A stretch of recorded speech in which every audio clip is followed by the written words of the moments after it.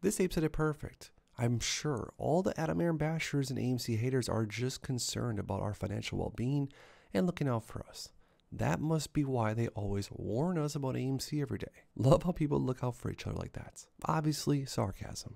This is the final warning. Checkmate officially in progress. There will be a high level of shilling you're going to see in this period. You will see more people saying that they are giving up or selling or AAF'd us and many, many other things on top of that. These people will try everything to get your shares. With cost to borrow tipping over 400%, they are choking. AMC and APE are becoming almost impossible to short. Now, if you're willing to pay a 400% borrow fee to short a stock, well, I guess that's on you. But the finish line is in sight, and it's going to be beautiful and epic. All of this is my opinion, of course, not financial advice, as always. The short thesis is dead and apes are right. Shorts are effed. Simple as that. Say you had $50 in your pocket. Would you spend $10 now if you created future flows of $3 a year?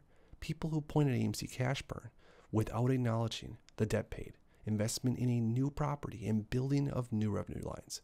Expect you not to understand the question. Adam Aron and AMC have proved one thing to us. They are playing on the offense, and they've made that very clear. If we are wrong, they would have covered by now. If we are wrong, they wouldn't have hired thousands of shills and written bot scripts for accounts. If we were wrong, they wouldn't be offering people money to become bots. If we were wrong, they wouldn't be shutting us down. If we were wrong, they wouldn't tell us that we are wasting our money. They wouldn't need to continue to borrow shares to fight against us. And finally, if we were wrong, they would have disproven our DDM facts. They have yet to disprove it, or why the MOASS won't happen. Not a single shred.